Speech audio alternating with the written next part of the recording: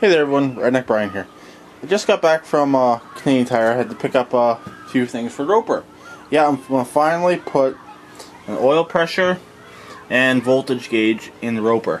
Also, I picked up a new hole saw bit. I need this to be able to drill through the dash on the Roper, also on the Red Rocket. Let me show you the Red Rocket. Remember from before, the gauges used to be up here, but the pod's broken so, I'm actually going to put the gauges right down in here, hopefully. I know it will fit, but it's going to be a bit of a bugger to drill it, so go one there, down, down there, and one up there, so. Or what I can possibly do is, maybe, if I can fit my drill in there, I'll drill it from the back side. We'll see. And then on the roper, the main reason is I don't know if I can get that steering wheel off, so.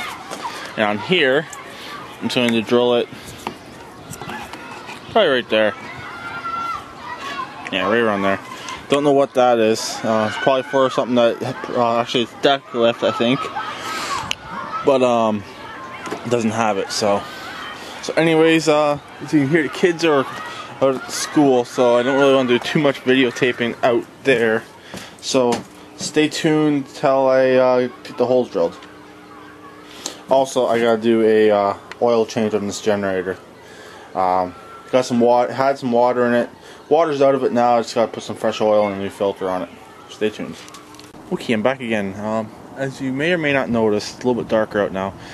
Unfortunately, had, I had to run back out to Canadian Tire. The oil pressure gauge was actually broken, so I had to get a different one of those, and I had to get a different bit to drill it through.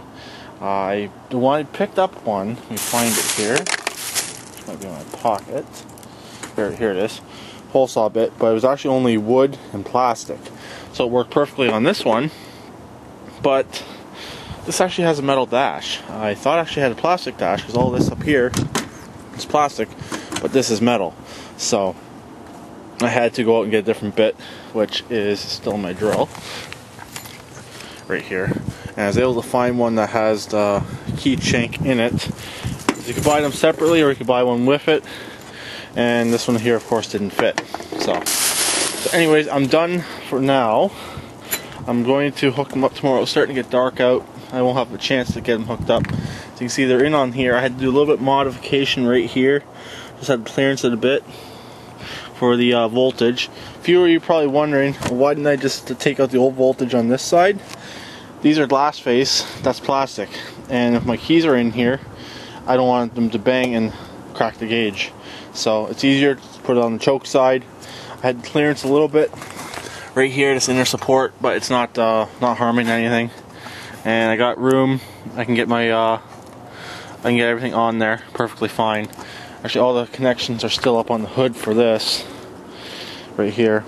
And actually, I was able to keep the um, because they said the, the other gauge was garbage anyways.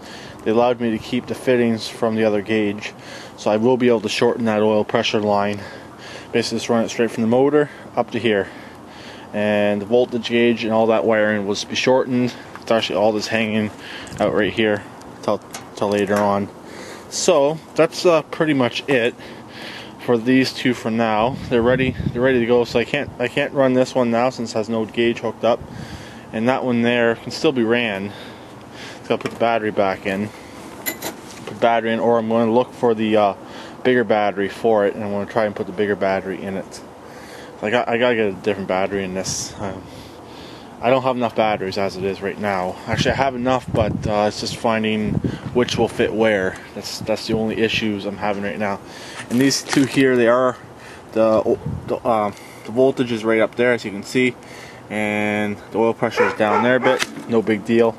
Uh, I was I was trying to put it up here but there's actually some supports in here in the hood so I was unable to do it or sorry for the dash. So I just moved it down there.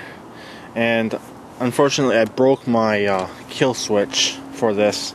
So I might have one or I'll have to go and get another one. I forgot to grab one at Canadian Tire. So I may have one though. I just gotta look around. So that concludes this video. So I guess I'll talk to everyone later Please keep it redneck like always, and please subscribe comment.